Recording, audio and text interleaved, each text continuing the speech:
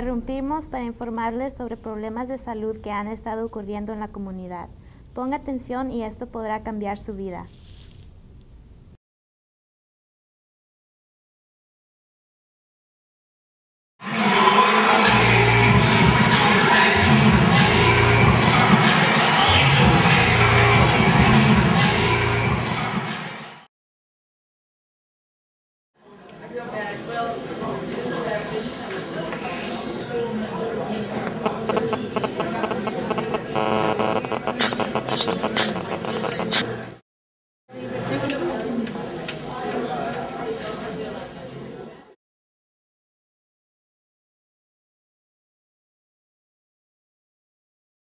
Ali, ¿te divertiste mucho en el club anoche? Ali, Ali, ¿recuerdas al muchacho de anoche? Era muy guapo. ¿Bailaste con él toda la noche? ¿Por qué no me contestas? Ali, tu teléfono está sonando. Ay, perdí la llamada. Era el chico guapo de anoche. Qué lástima. Qué lástima. Ali olvidó usar sus tapones de oír ayer en el antro. Mala Ali. Una noche llena de diversión no vale la pena de perderse de lo que sucede en tu alrededor. Por favor, usa los tapones de oír. Este fue un mensaje por el Departamento de Salud.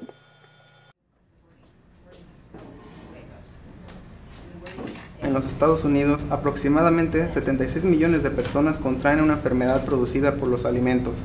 Muchas personas no saben que las bacterias que causan las enfermedades en la comida se multiplican cuando la temperatura es de entre 5 y 63 grados centígrados.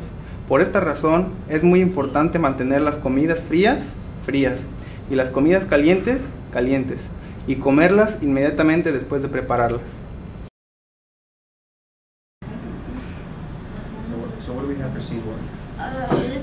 No sé qué tengo. Me siento muy mal.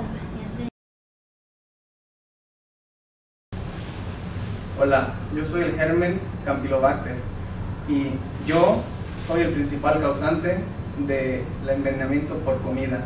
Y a mi víctima yo le voy a causar calentura, dolor de cabeza, dolor de abdomen y diarrea.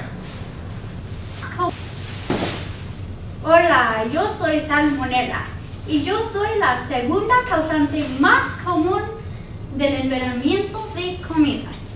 Yo voy a causar a mi víctima calentura, diarrea, vómito y dolor del abdomen. Parece que mi comida ya se enfrió. ¿Tendré que calentarlo de nuevo? ¿Cuántas veces se ha lavado las manos ahora? 80% de las personas no se lavan las manos de costumbre. Piensa en todas las cosas que ha tocado ahora, desde el teléfono hasta el inodoro.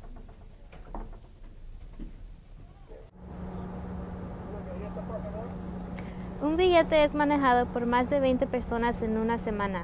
¿Sabe en dónde han estado las manos de esas personas?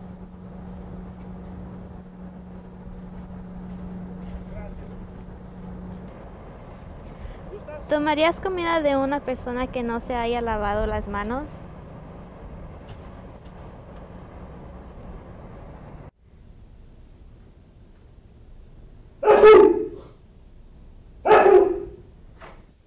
¿Le ayudarías a un desconocido o a un amigo cuando están destornudando?